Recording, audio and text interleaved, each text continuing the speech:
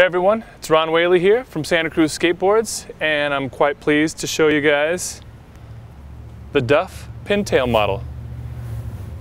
Santa Cruz Skateboards and the Simpsons have come together to make a whole line of cruisers and this one is inspired by Duff's beer.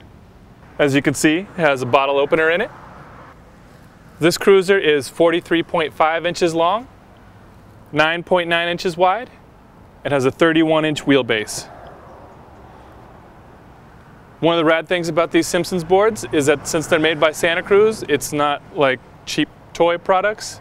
It's all really high quality skateboard goods. Nothing but the finest.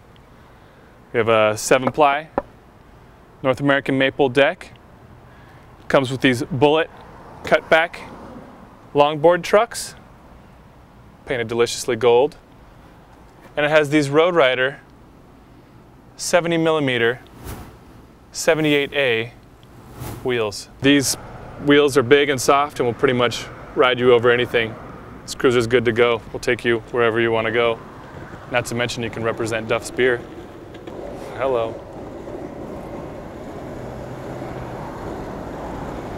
Can't get enough of that wonderful Duff.